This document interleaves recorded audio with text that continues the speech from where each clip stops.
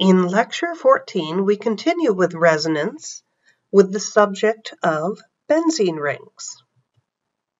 While benzene itself is toxic to the human body, the benzene ring with substitution occurs all through organic life as a part of many amino acids.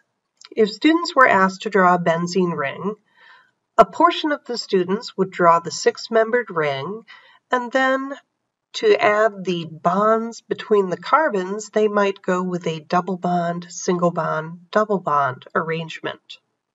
But another portion of the students would draw the structure with the double bond on the left side instead of on the right side. Now hopefully at this point you realize that if you can draw structures on paper that seem to be very similar in formal charge and are related just by rotation, these would be equivalent resonance structures. They are interconvertible by electron movement. So if we just slide that double bond to between these carbons, of course that would give this carbon five bonds, so we'll have to kick that double bond over and then kick that double bond over.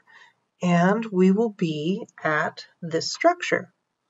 Or we can convert the structure on the right to the structure on the left. Or we can compare formal charges and see that both structures have six carbons with a formal charge of zero and six hydrogens with a formal charge of zero as well. Or those of you who are good at rotating molecules in your head may realize that if you take this center axis and rotate by 60 degrees, you wind up with this compound. So it's improper to say that the double bond is localized between just two carbons around the benzene ring. It's more that the double bond is delocalized, and the electrons in the double bond are allowed to range all throughout this six-membered ring. That is their electron cloud region. Now notice resonance is localized to just the carbon-carbon bonds. There is no change in these carbon-hydrogen single bonds. So this is what would be called localized delocalization. Yes, there truly is such a thing. And perhaps you remember seeing that before when you were getting the bond order of the carbonate ion. So the bond order for this benzene ring would be nine bonds within this six-membered ring, and of course, six bonding regions. So the bond order would be 1.5, which is what you would get if you averaged a double bond and a single bond. The next part of this lecture deals with hybridization.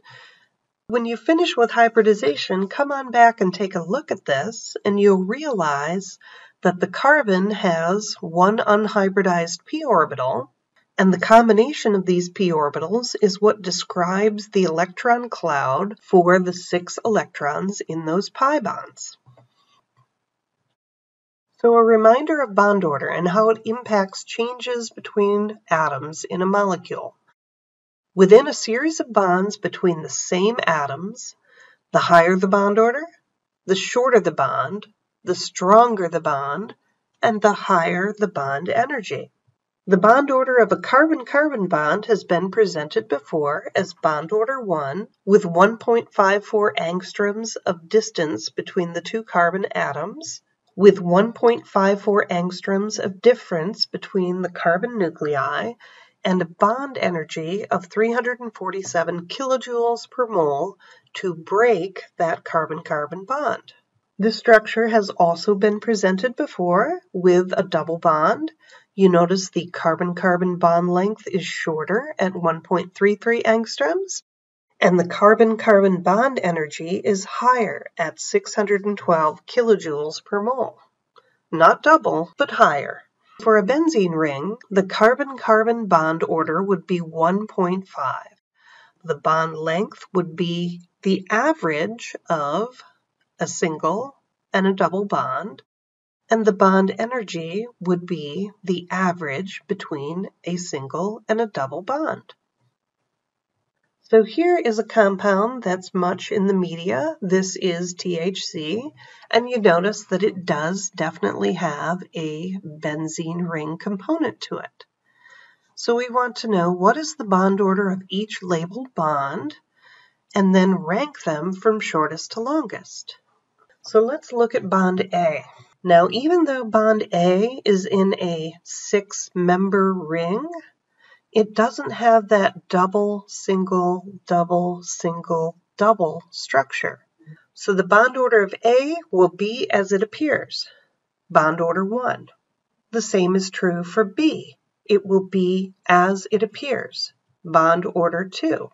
But when we go to bond order for C, notice that this is in a benzene ring structure.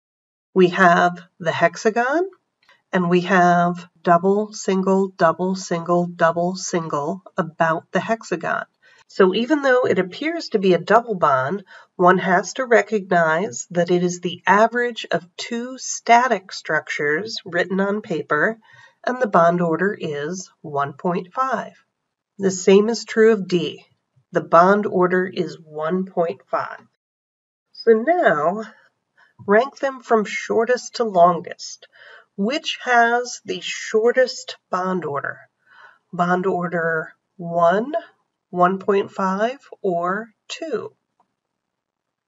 I sincerely hope that you say that bond order 2 is the shortest and the strongest. In the middle, we have bonds C and D, which are equal to one another in bond length and bond strength. And for our longest bond, we have bond A.